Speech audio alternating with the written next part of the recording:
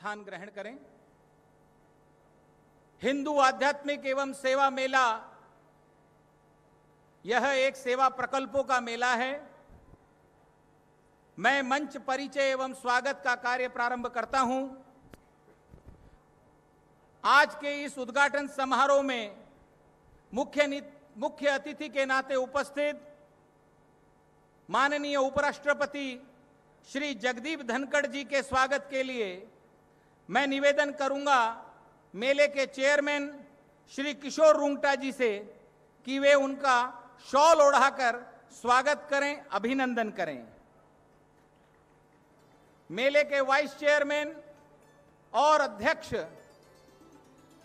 doctor M L Swarnkar ji व सुभाष बापना जी से भी निवेदन करूँगा कि वे स्मृति चिन्ह देकर माननीय उपराष्ट्रपति जी का स्वागत करें, अभिनंदन करें।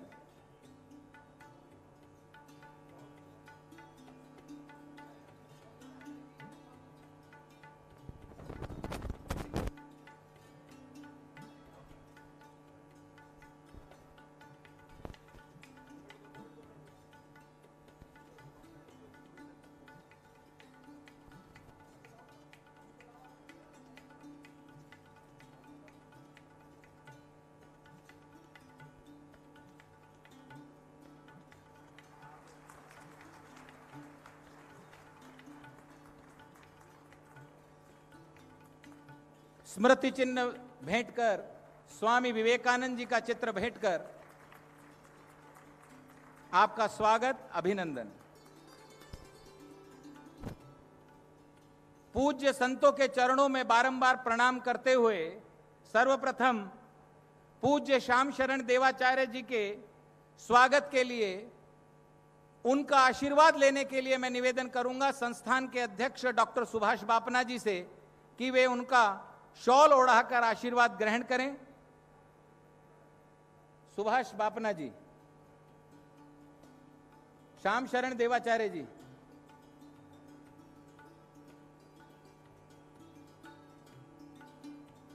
पूज्य दीदी माँ के स्वागत के लिए मैं आमंत्रित करूँगा राष्ट्रीय संयोजक आदरणीय गुणवंत सिंह जी कोठारी का, कि वे आए और पूज्य दीदी माँ को शॉल ओढ़ाकर अभिनंदन करें, उनका आशीर्वाद लेवें। श्री गुणवंत सिंह जी कोठारी।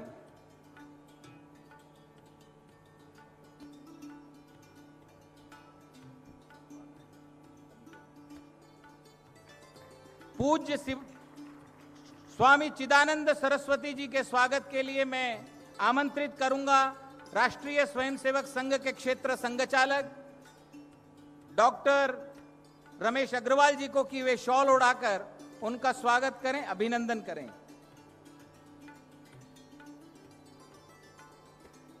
मैं जयपुर शहर की सांसद मंजू शर्मा जी से निवेदन करूँगा कि वे डॉक्टर चिन्मय पांड्या जी का शॉल उड़ाकर स्वागत करें, अभिनंदन करें।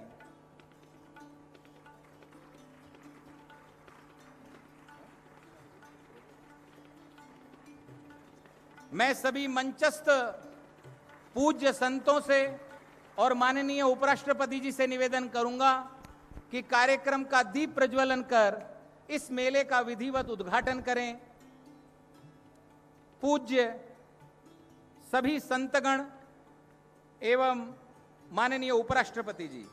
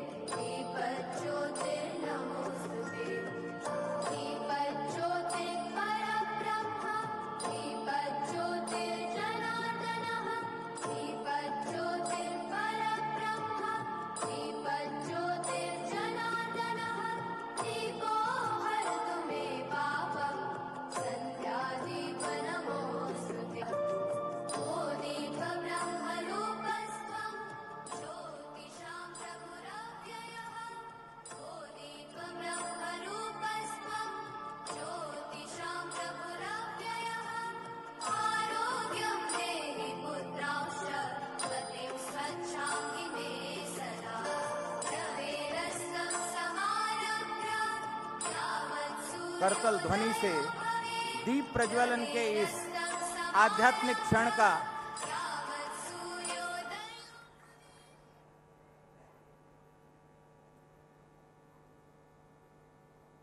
जयपुर में चौथी बार हिंदू आध्यात्मिक एवं सेवा मेला, मूल्य निर्माण एवं राष्ट्र निर्माण के उद्देश्य से आयोजित किया जा रहा है। सर्वप्रथम मेले की प्रस्तावना के लिए मैं राष्ट्रीय स्वयं, स्वयंसेवक संघ के वरिष्ठ प्रचारक एवं हिंदू आध्यात्मिक एवं सेवा फाउंडेशन के राष्ट्रीय संयोजक श्री गुणवंत सिंह जी को मंच पर आमंत्रित करता हूँ कि वे मेले की प्रस्तावना रखें श्रीमान गुणवंत सिंह जी कोठारी। इसी वाले पोडियम पे भाई साहब भाई साहब इसी पोडियम पे। इधर।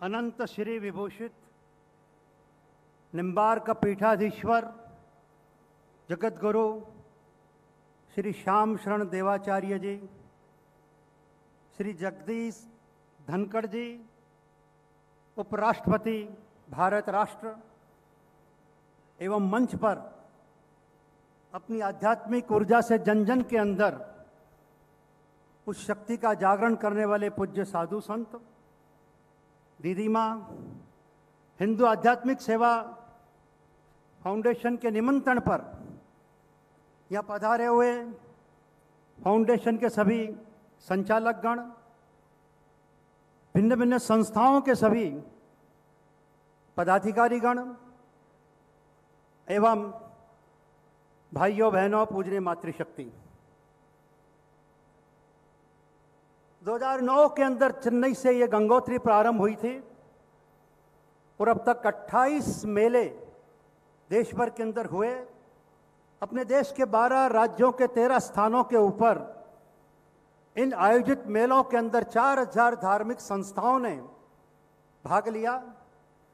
एक करोड़ के लगभग भिन्न भिन्न मेलों के अंदर जन समुदाय ने आकर के हिंदू समाज के साधु संत मठ मंदिर इनकी प्रेरणा से चलने वाले प्राणी मात्र के कल्याण के लिए किए जाने वाले कार्यों का अवलोकन किया।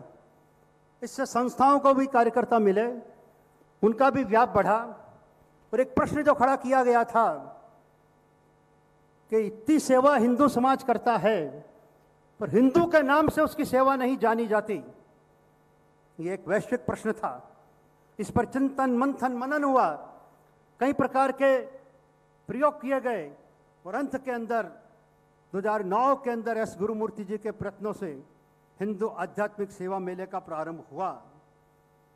इस मेले की जो उपलब्धि रही, एक आपको मैं बताना ज़रूर चाहूँगा, चेन्नई के अंदर देवेंद्र वेरगोड़ा एक कम्युनिटी है, जो एससी के अंतर्गत आती है। गुरुमूर्ति जी के प्रयत्नों से, चेन्नई की टीम के प्रयत्नों से वो मेले के अंदर उन्होंने आना प्रारंभ किया।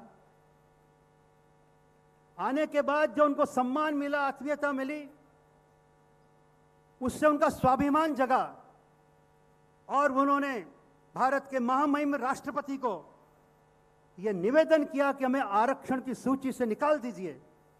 जब व्यक्ति का स्वाभिमान जगता है तो व्यक्ति अपने अंदर एक ऐसी ऊर्जा का अनुभव करता है और समाज के अंदर संचारित करता है। अपने देश के अंदर एक सबसे पहला उदाहरण है और यह उपलब्धि हिंदू आध्यात्मिक सेवा मेलों के कारण से हुई है। हमारे सेवा कार्य आंध्र प्रदेश के अंदर अनंतपुर जिला है। उस ज़िले के अंदर पानी की, पीने की समस्याओं का समाधान करने के लिए पट्टपूर्ति के सत्य साईं बाबा ने एक आह्वान किया। उनके भक्त जुड़े और वह योजना प्रारंभ हुई 800 करोड़ से। जब योजना पूरी हुई 2000 करोड़ खर्च हुआ, एक पैसा किसी सरकार से नहीं लिया गया, समाज के सहयोग से लिया गया, और इसकी प्रशंसा हमारी पंचवर्षीय योजनाओं की, नवी योजनाओं के प्रियम्बल के अंदर की गई। आज देश के लोग कितना जानते हैं, इन सारे सेवा कार्यों को कभी हमारी मीडिया ने समाज के सामने लाया?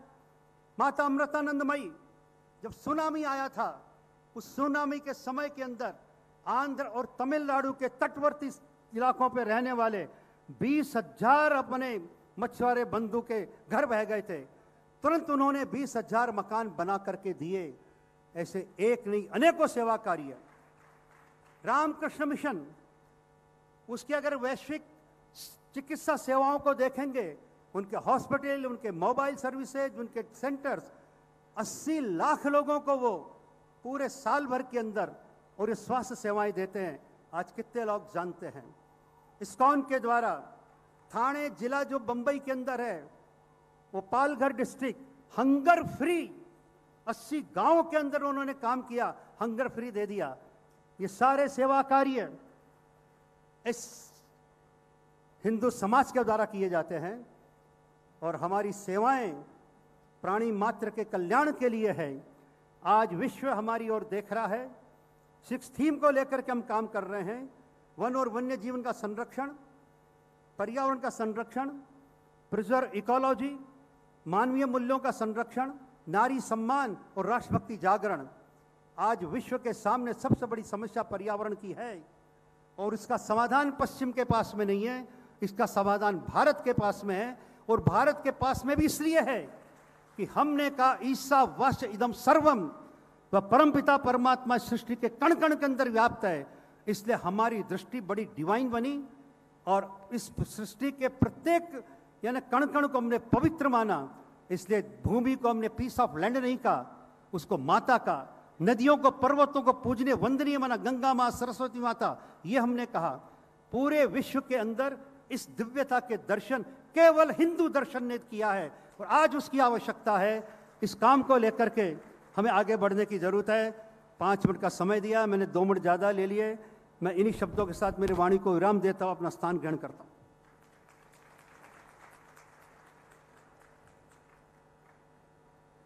माननीय गुणवंत सिंह जी ने गागर में सागर कहा है। स्वागत भाषण के लिए मैं आमंत्रित करता हूँ मेले के चेयरमैन श्री किशोर रुंगटा जी को कि वे आए, स्वागत उद्बोधन के साथ अपना वक्तव्य रखें श्री किशोर रुंगटा जी।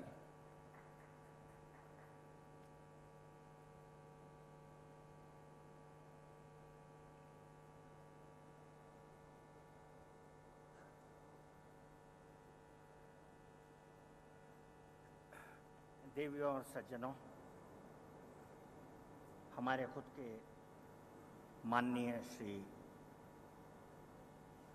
धनखड़ साहब, बैठे हुए गुरुओं, आप सबको प्रणाम। आज इस हिंदू आध्यात्मिक सेवा मेला के उद्घाटन समारोह के मंच पर उपस्थित भारत के उपराष्ट्रपति माननीय धनखड़ जी, पूज्य संत जन एवं उपस्थित सभी बुज़ुर्गों, माताओं, बहनों, युवाओं का इस कार्यक्रम में आप सभी का हार्दिक स्वागत व अभिनंदन करता हूँ। आज हम केवल एकत्रित नहीं हुए हैं, बल्कि हम एक प्राचीन और गौरवशाली परंपरा का हिस्सा हैं, जो हमारी जड़ों को सदियों से पोषित करती आई है। पवित्र गंगा की धारा से लेकर तमिलनाडु के वो प्राचीन मंदिरों तक हमारे देश की मिट्टी में एक ऐसी सांस्कृतिक पहचान है जिसे कभी मिटाया नहीं जा सकता। लेकिन आज हम एक ऐसे मोड़ पर हैं जब हमारी, जहाँ हमारी पहचान खतरे में है। हमें अब केवल अतीत पर गर्व करने से कुछ हासिल नहीं होगा। अब हमें अपनी संस्कृति को सुरक्षित करने के लिए खड़ा होना होगा। अगर हम चाहते हैं कि हमारा राष्ट्र बना रहे, हिंदू बना रहे। मुझे विश्वास है कि विचारों की स्पष्टता और करेज ही हमें सही दिशा में ले जा सकती है। इसे मैं सीधे मुद्दे पे आता हूँ। सवाल ये है कि हम आगे कैसे बढ़ें? एक ऐसी दुनिया में जहाँ विभाजनकारी ताकतें हमारे अस्तित्व पर लगातार हमले कर रही हैं। क्या हम तैयार हैं अपने मूल्यों की रक्षा करने के लिए? क्या हम तैयार हैं उस सांस्कृतिक जीवन मूल्यों को बचाने के लिए? जिसमें हमें, हमारे गौरवशाली अतीत को जोड़ा है। और सबसे ज़रूरी, क्या हम तैयार हैं अपने आप को बचाने के लिए, जो कि एक बहुत महत्वपूर्ण और मेरी ख्याल से एक इमरजेंसी की ज़रूरत है। लोकतंत्र में हर नेता जन कल्याण के वादों से चुना जाता है। लेकिन अंततः मतदाताओं को बुनियादी सुविधाओं से अधिक की आवश्यक हो, आवश्यकता होती है।